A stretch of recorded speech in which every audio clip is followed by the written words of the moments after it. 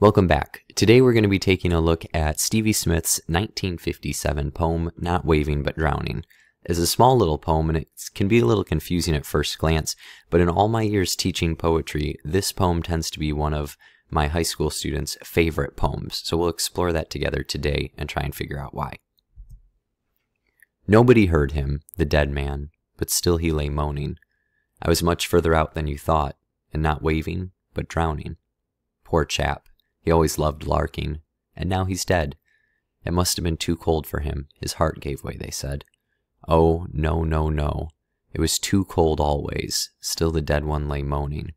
I was much too far out all my life, and not waving, but drowning. So, the first thing I want to talk about in this poem before we dive into the meaning is the music of it. And I think when you read it, even just once out loud, you, you can tell there's some, some rhythm and pattern to it, but it can be hard to pick up. So I did the rhyme scheme for us here, and it starts out kind of simple, A, B, C, B. But then you notice that that repeated line, moaning and drowning, the ing gets picked up in the second stanza in larking. And then dead and said rhyme.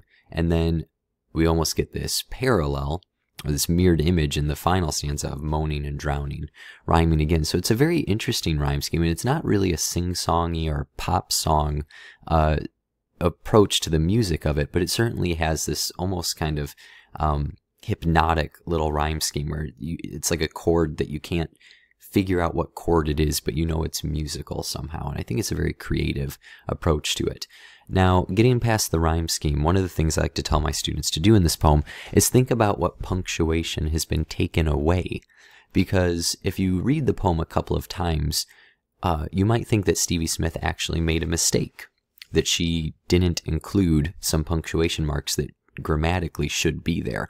And we'll talk about why that is. I don't think she made a mistake. I'm almost certain it was very intentional. But take a second and think about what punctuation marks are missing. Okay, if you need more time, you can pause, but we're going to move on. Did you say quotation marks? Because this poem is actually a conversation between two people.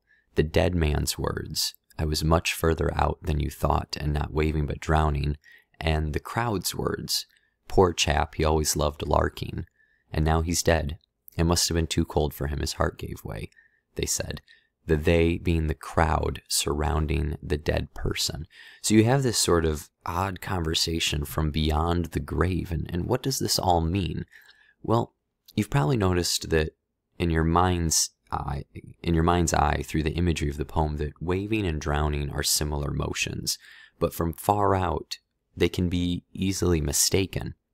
And I always talk about how important it is to know what every word in a poem means, especially a short poem. And that certainly is true in this one because if you're not British and not a little bit older, you might not know what larking means. But larking is basically a word that means goofing around.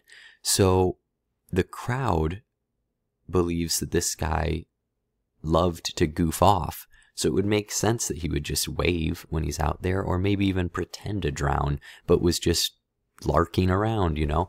Um, but he wasn't right? And I think that's the saddest part of this poem is that middle stanza. Poor chap, he always loved larking, and now he's dead. I mean, they knew him, right? They they know that he likes larking, and this is all they have to say. And that line, if you want to talk about line breaks being used well, the second line of the second stanza, and now he's dead. Cut off before it gets to the explanation for it. That's a wonderful spot to break the line, and it's a very powerful spot as well.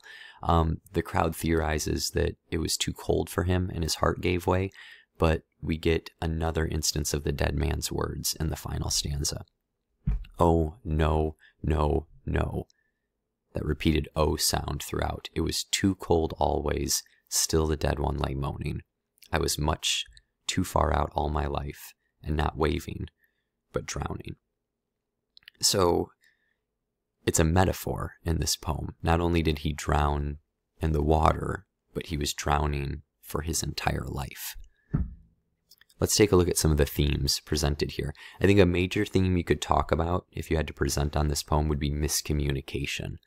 And the lack of the quotation marks actually, I think, are intentional because it mirrors the confusion about how the dead man died and how he lived his life. They thought he was joking around, but we're told it was not a joke. His whole life he was too cold, not just when he drowned. And when Stevie Smith lets the dead man speak from beyond the grave, it's too late for the crowd. They don't hear him, but we do. So, what can we learn from this person's demise? Well, this gets back to my introduction about high schoolers really feeling attached to this poem. I think in high school and, and in the rest of life as well, you can notice that the people that goof off, the people that are the jokesters, the people that are always trying to make others laugh, they're just as capable of feeling sad. And sometimes they're trying to cover up something. Not always. I was a, a goofball most of my life, still am. but sometimes we use humor. This is everyone, not just jokesters. But sometimes we use humor to mask real pain. And if we don't listen to each other, we can think someone's just waving at us, larking around, when actually they're drowning. It's quite a message, one we can really carry with us.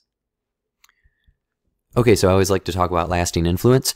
Um, there's many, many songs. You can check out the Wikipedia page. They're pretty niche songs, but there's a ton of songs that reference this. Uh, a couple films and short stories, including a documentary.